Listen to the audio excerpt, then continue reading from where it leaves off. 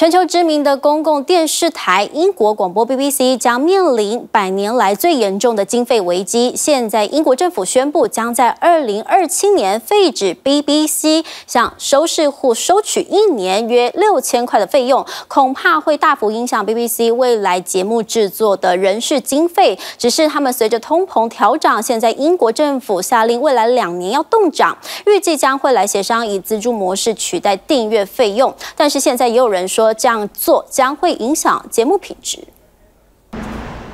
请支持 TVBS 国际 Plus 全新频道，让您扩大视野，掌握趋势，接轨全世界。恳请订阅，开启小铃铛。